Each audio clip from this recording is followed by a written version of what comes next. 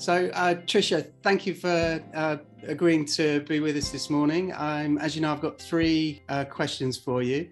So, I'm going to start with the first one, which is what do you like about your work? Um, what I love about my work is that I get to deal with lots of different kinds of people every single day. Um, and I feel very passionate about the fact that everyone that you encounter um, on your sort of journey through work on a on a daily basis has a lot of diversity and richness and layers to them, which you perhaps don't always see in their work. Um, and the job that I do, I deal with very very complex change, um, mainly in the media sector. That's my day job. Um, and in doing that work, I'm just endlessly fascinated by the characteristics of everybody. And you know, just to sort of give it a little bit of a flavour of how that translates in my own self. I'm a friend, I'm a runner, I'm a mum, I'm a wife, and a management consultant. And at night time, I go out and I sing and I perform. I'm a songwriter. And perhaps when you encounter somebody just in a meeting or you kind of um, approach somebody in a work setting, you might not kind of see all of those different layers. But every single person you encounter has their story and their similar um, multiple layers. Um, and really, it's a massive privilege for me to work with organisations to help them navigate quite significant complexity um, and how each person might approach that will be different because of their own experience and, and what they stand for and what how they identify in multiple yeah. ways. yeah, fantastic. Um, the second question I've got for you is how did you start out? Um, so I left school at 16 with no qualifications and no prospects. I didn't cut, grow up in a, a particularly affluent environment, um, and no one in my family had ever been to university. Um, I retook my, I took O levels, but I retook GCSEs. I was on that cusp. And then I did some A levels. Um, and I had a very strong idea in my head at that time that if I could just get to America, my life would be all right because I watched a lot of television, um, Dynasty and Dallas, and those shows and Moonlighting I absolutely loved. And those shows showed a glimpse of a world where there was a lot of space and money and opportunity. And so I became completely fixated on the idea that if I could get to America, that my life would somehow be great. Um, and so I went, I managed to get a job working on cruise ships and I worked um, on cruise ships for four and a half years and traveled all over the world. Um, I was in the entertainment department, so um, I was a hostess and I sang and, and performed and taught line dancing. Um, and when I came home to the UK, I decided it was time for me to come home. I thought, I know what I'll do. I'll work in television, not realizing that TV was an industry that really was the domain of those that graduated. There were a lot of graduate schemes. You know, people generally speaking had gone to university, which I hadn't done. Uh, but I got very lucky, and through an work experience opportunity, I managed to get my foot in the door and, and start working in TV and sports TV. And then I worked my way up the ranks. Um, I had a big chip on my shoulder about the fact that I didn't have a degree. So I did that part time. I did a degree in economics with Open University. And um, I was head of production and business affairs at Sky One when it was called Sky One back in yeah. the day. Um, I had to take a day off to graduate. so actually, one could argue that was never necessary for me to do that degree, but I did enjoy the learning.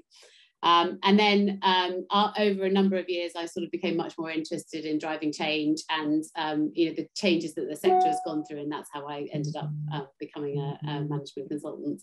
Um, and I've been running my own business for the last ten years, um, helping mainly media organisations, but people-led and creative organisations as well to navigate, you know, the complexity of the digital transformation, the complexity of how people consume content, how people want to work um, in this day and age as well, um, and all the technical advancements that have kind of come through that way as well.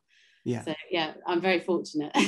Fantastic. I'm, I'm going to throw in an extra question because I can't resist it, and that is when when you talk about change, what's um, what what's something that's um, significant in either people not being able to change or or, or them being able to to deal with change. So the thing about change is that everyone um, comes about it in a very individual way and i'm sure that you and perhaps some of your um, uh, viewers listeners will be familiar with um, kubler-ross's theory which is something from the 70s which i think still stands the test of time today but essentially um, the change curve. We're familiar with the grief curve. Yeah. And every single change that we encounter as a human being, we go through a version of that curve, either quickly or slowly. Um, and that would be anything from um, the sorts of projects that I've done have been changing workflows, changing the way that we operate in an office. So a um, big media company moving to all open plan working and, and laptops instead of fixed desktops.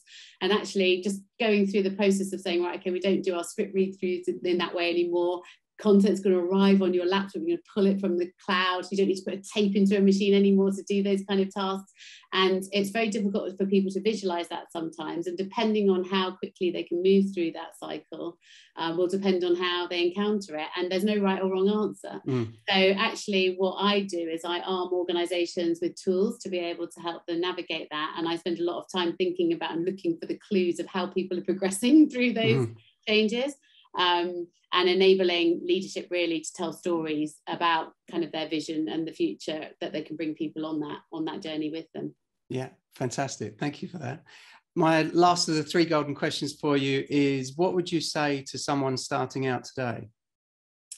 Um, well, my friends would say to me that my personality um, is that when a door opens, I walk through it, mm-hmm. and uh, that is definitely how I how I live my life. I'm about to make a big significant change in my life actually. So you know having run a very successful business for the last 10 years i'm going to take quite a significant sabbatical from september to go and do a master's in songwriting. Right. Um, you know i don't think that anyone in my family even knows that anyone has got a master's let alone anyone expected that uh, somebody they're related to would have one. Um, so maybe i will or won't. I don't know. Maybe i won't pass. But um, um, you know that's an opportunity that I have because I've been songwriting for a while and it's something that I've been doing mm-hmm. and um, when that door opened and I was made an offer to go and study I've just walked through it and mm-hmm. it's a real leap of faith it's like if you can imagine that scene in um, Indiana Jones one of the movies where he has to step out into the abyss and then the path arrives in yes. front of him a yes. lot of my life and my career choices have really felt like that that I'm stepping out into possibly nothing um, but it has worked out. And I think that there are sometimes when your instincts can kick in, and if the door opens, you've got a choice of either letting it slowly close or walking through it to see what's the other side. Yeah. Um, and so I would encourage everybody to just have a little look, see what's the other side of the door. Yeah, fantastic. And uh, and make sure you take your hat with you, uh, like Indiana Jones. Yeah.